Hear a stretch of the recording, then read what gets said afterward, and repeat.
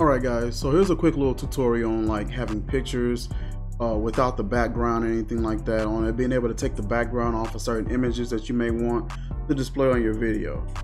So say for instance, I'm doing a cologne review, as you see me do so many times. I may want to use a picture of a, a cologne bottle. So I go to online, I download a picture, and I bring it up here. Lo and behold, it is this. We don't want this. We don't want this huge white background. We just want the bottle. So let's go through the software that I use called Krita or Krita. I want to say it's Krita. And I use this software to take off that background where I just have a nice clear picture of just the bottle. Let's take a look. So this is a software that I use called Krita. And here I have a canvas size of about maybe 500 pixels to 500 pixels because uh, I don't need a huge size for this bottle. It's going to be a fairly decent size. I'm going to come up here to layer. I'm going to come down to import and I'm going to come over to import layer. I'm going to pick the picture that I want to use, which is this cologne bottle here. This is a Black Panther bottle from Alexandria Fragrances. Over here in this corner, you'll see that there are ex there's an extra layer had formed here. So what we're gonna do, we're gonna go ahead and work on this layer here.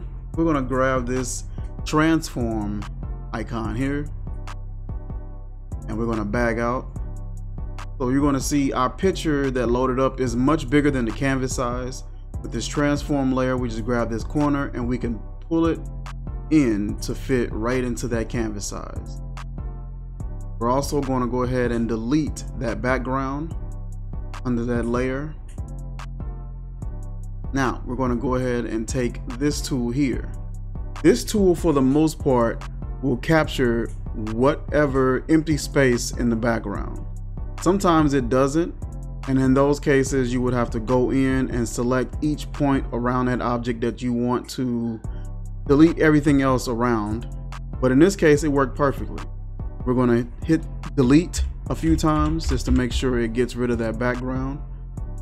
And then we're going to deselect our selection here. Now we're going to take our eraser and we're going to erase this little shadow that it has, this little drop shadow. Just erase that off manually. And there you have it. Just have just your cologne bottle. None of the background is there. We're going to go ahead and save that and we're going to save it as a PNG image. Now, since we got that saved, we'll come over here to image, upload that image, and there you go. We have a nice size representation of that cologne bottle that we can use for our review videos. And you don't have that background on it, you just have the bottle. Quick and easy way to get rid of that background for that picture so that it can look nice and presentable for the video. Like, comment, share, subscribe, and I will catch you guys soon.